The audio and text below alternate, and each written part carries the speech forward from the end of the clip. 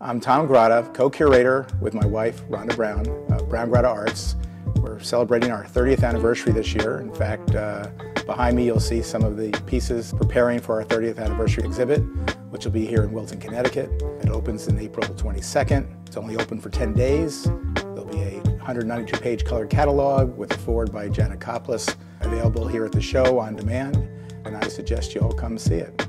A lot of our artists will be attending. At the moment, I think we have over a dozen who have RSVP'd coming from all over the world, from Korea and Japan, from California, from the UK. So you'll get to meet the artists, you'll get to see the work. The catalog will be hot off the press. We print them uh, on demand here on site, and it'll be a very exciting show to see.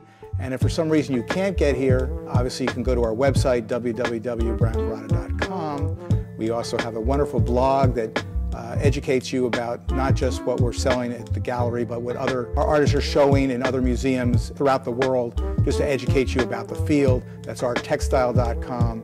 You can also follow us on Facebook, on Twitter, on Instagram, on LinkedIn, on Google+. There, there's no shortage of ways to uh, uh, find us uh, online.